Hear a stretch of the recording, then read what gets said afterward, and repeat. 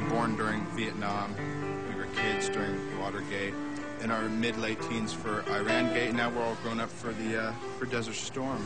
We've only ever known a government that doesn't tell us the truth. What are you doing here? I'm making a movie about the elections. What are you doing? Robert Downey Jr. What scares me is, is, is crossroads. Such a pivotal time. Takes a look at America. Fear and denial on the campaign trail. Bye-bye. And what he finds. So I hear you have an interest in politics.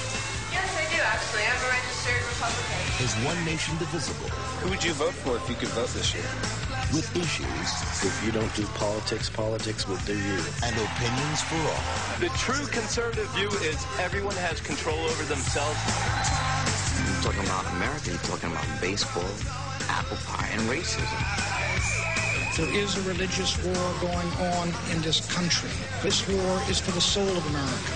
Pro-woman, pro-choice, pro-child. I think that all this is a lot of rhetoric. Pro-fear, pro-earth, pro-living.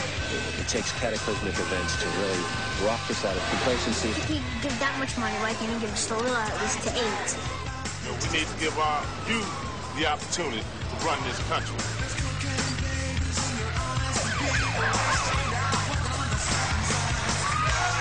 What's your opinion?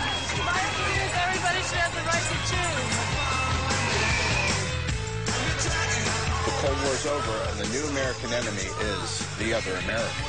Time is running out. The last party. Keep on the.